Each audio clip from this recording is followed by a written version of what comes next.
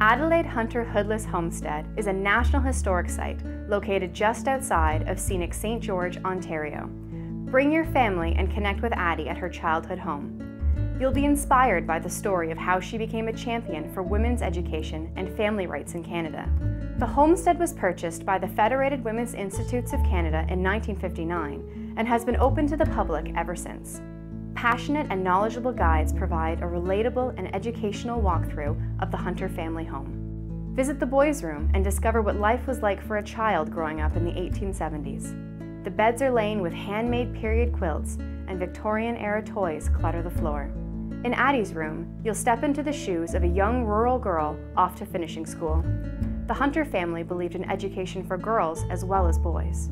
Her room reflects this, with shelves of books alongside the items traditionally associated with girls.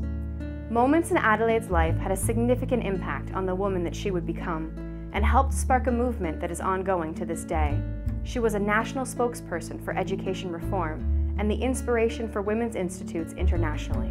Visit the homestead to learn the complete story of how a rural girl from St. George became a national historic figure.